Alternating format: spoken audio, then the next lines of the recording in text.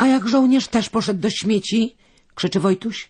Na pewno nie poszedł, krzyczę najgłośniej jak mogę, bo przez ten hałas nic nie słychać.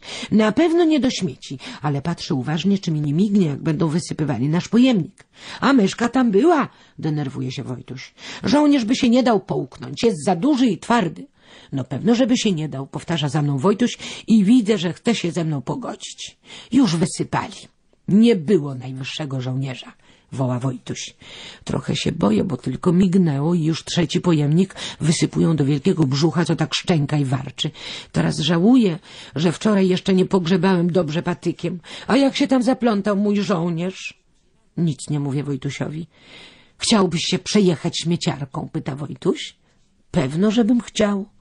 Patrzymy, jak panowie śmieciarze stają na stopniach przy szoferce i tak jadą, kiedy auto rusza.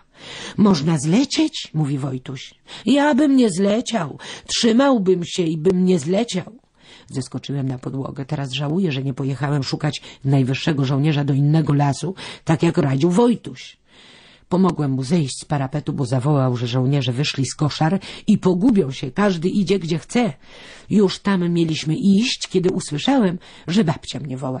Biegniemy do kuchni, patrzę, a tu najwyższy żołnierz stoi na taborecie. Skąd on się znalazł? Przyszedł, mówi babcia. Gdzie był? Babcia nie odpowiada. Kroi makaron na stolnicy i nie chce powiedzieć. To ciekawe, tak nagle się znalazł, czy przyszedł z lasu? Może to nie był bury wilk, tylko żołnierz tam w lesie, cośmy się bali. Na pewno on. Czy był w lesie? Pytam.